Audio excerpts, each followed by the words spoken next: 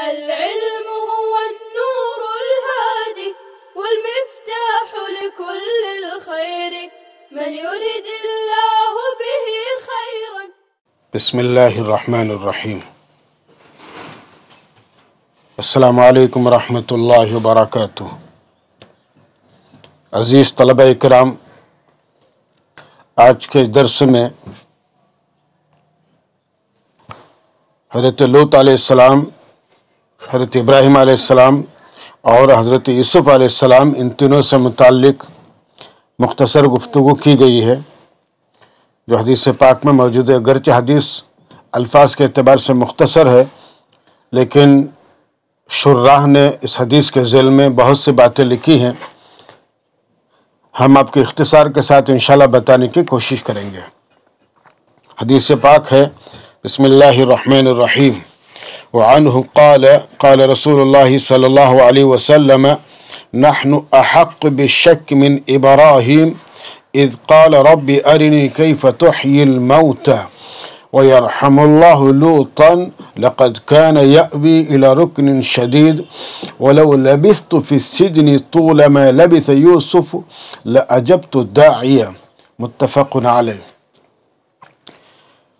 हजरत अबू हुरैरा रज़ी अल्लाह तआला फरमाते हैं कि अल्लाह के नबी सल्लल्लाहु अलैहि वसल्लम ने फरमाया, हज़रत इब्राहिम सलाम से ज़्यादा शक करने के लायक हैं।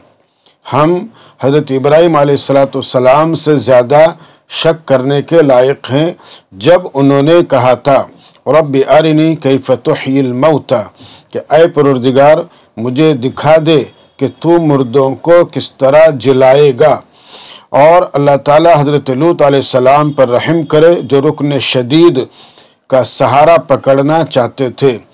और अगर मैं कैद खाने में इतनी तवील मुद्दत तक रहता, जितनी मुद्दत हज़रत यूसुफ सलाम रहे तो मैं यकीनन बुलाने वाले की दावत कबूल कर लेता।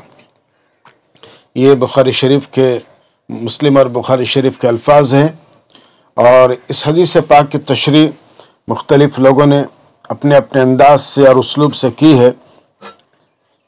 हज़रत इब्राहिम सलाम के जिस शक का ज़िक्र किया गया है, उसका तस्करा कुरान करीम में कुछ इस तरह है, व ईद काल इब्राहिम रब अरिनी कई फ़तुहिल मऊत काल अवलम तुमिन, काल बला, वलाकिन लियतमइन क़ल्बी।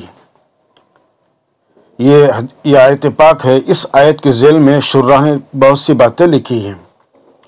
इस सिलसिले में हज़रत सल्लल्लाहु अलैहि वसल्लम ने जो ये फरमाया कि हम इब्राहीम सलाम से ज़्यादा शक करने के लायक हैं। तो इसकी वजाहत ये है कि जब मज़कूरा बाला आयत नाजिल हुई तो सहाबा में से कुछ हजरात ने पैगंबर सलाम के आज़मत और बरतरी ज़ाहिर करने के लिए कहा कि यह शक हज़रत इब्राहिम सलाम को हुआ। हमारे हज़रत अलैहि वसल्लम ने इस तरह का शक ज़ाहिर नहीं किया। अल्लाह के नबी सल्लल्लाहु अलैहि वसल्लम ने ये सुना तो फरमाया कि हम इब्राहिम सलाम से ज़्यादा शक करने के लायक हैं।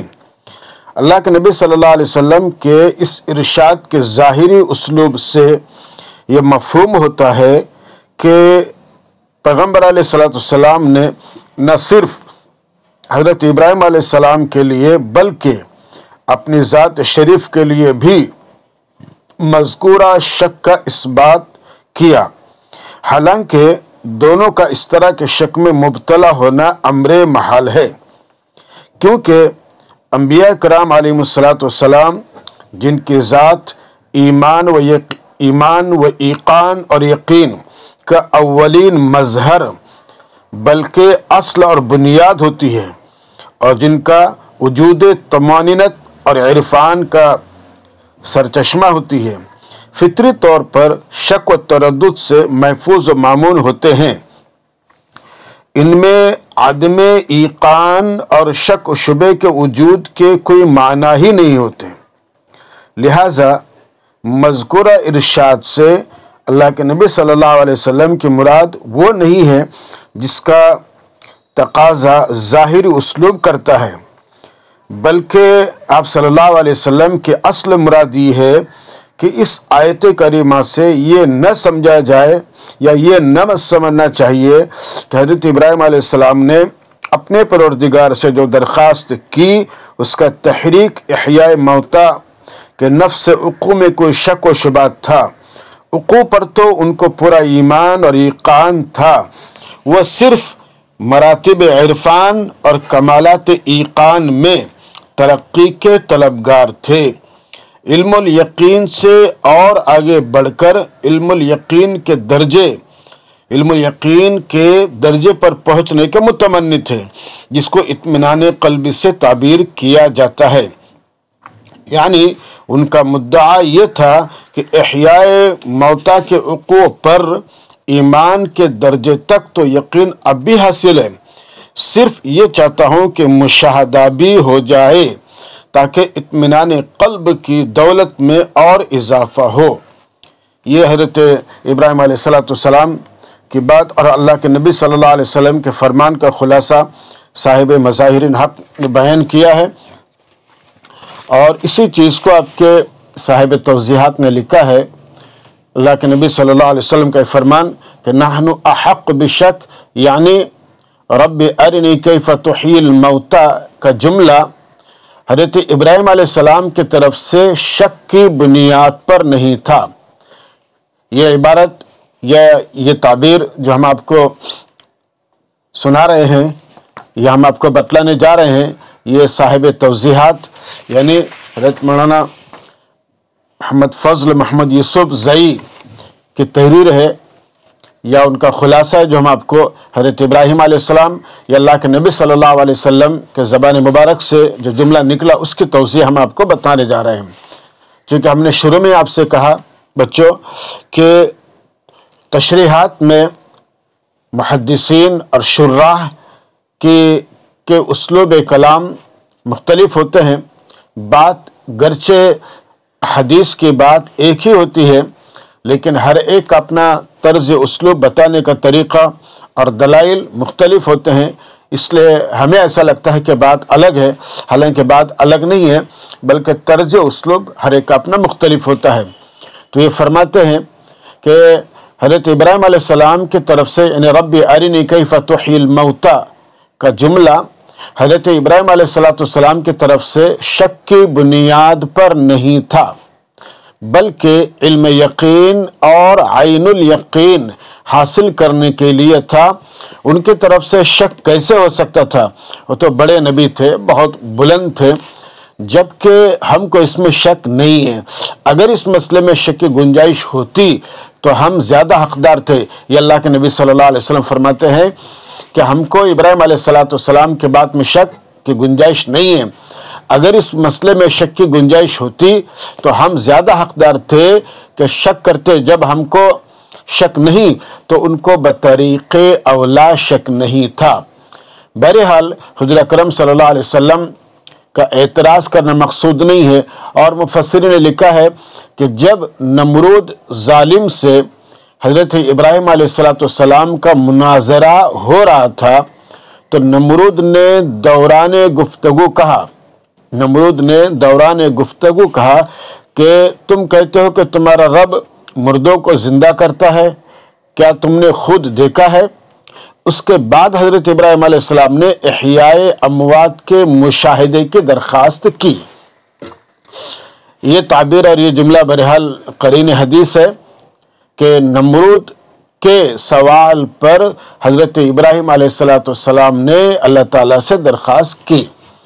और आगे का जुमला कि यरहमतन इस जुमले में हज़रत सल्लल्लाहु अलैहि वसल्लम का हज़रत लूत सलाम पर एतराज़ करना, इश्काल करना बिल्कुल मकसूद नहीं, बल्कि उनकी तंगी और परेशानी की एक कैफियत बतानी है कि कौम लूत ने उनको इतना तंग किया कि वो इस कहने पर मजबूर हो गए कि काश कोई मज़बूत किला होता या मेरे पास ज़ाहरी ताकत होती कि मैं इस कौम का मुकाबला करता। इस मजबूरी में हज़रत लूत सलाम का ख्याल मादी ताकत की तरफ़ चला गया। वरना एक नबी के लिए तो अल्लाह की ज़ात सबसे ज़्यादा मज़बूत और महफूज किला है। उसके सिवा और क्या मज़बूत किला हो सकता है? और लजब तो दाई। इस जुमले में हज़रत सल्लल्लाहु अलैहि वसल्लम ने हज़रत यूसुफ सलाम पर कतान एतराज़ नहीं किया। इस जुमले में, यानी लजब तो दाई जुमले में हज़रत सल्लल्लाहु अलैहि वसल्लम ने हज़रत यूसुफ सलाम पर कतान एतराज़ नहीं किया, बल्कि उनकी इस्तकामत और सब्र की तारीफ़ की।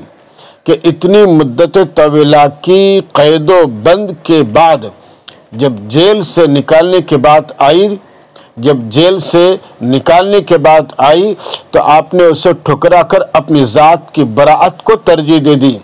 अगर इतनी तवील मुद्दत के बाद मुझे ये पेशकश होती तो मैं फ़ौर बुलाने वाले की बात मान लेता। ये जुमले पर अल्लाह के नबी सल्लल्लाहु अलैहि वसल्लम के जुमले पर शुरा ने यह बात इरशाद फरमाई है। तो गर्द के शुर्राह ने हदीस पाक के जेल में मुख्तलिफ़ बातें फरमाई हैं और हमें बहरहाल इन बातों की तरफ़ तवज्जो देनी चाहिए। अलबत् यहाँ जो रुकन शदीद का जो मामला इस्तेमाल किया गया हदीस पाक में छोटा जुमला, जो रुकन शदीद का सहारा पकड़ना चाहते थे तो रुकन रुकन असल में किसी भी चीज़ के मज़बूत किनारे या मज़बूत सतून को कहते हैं। रुकन असल में किसी भी चीज़ के मज़बूत किनारे या मज़बूत सतून को कहते हैं।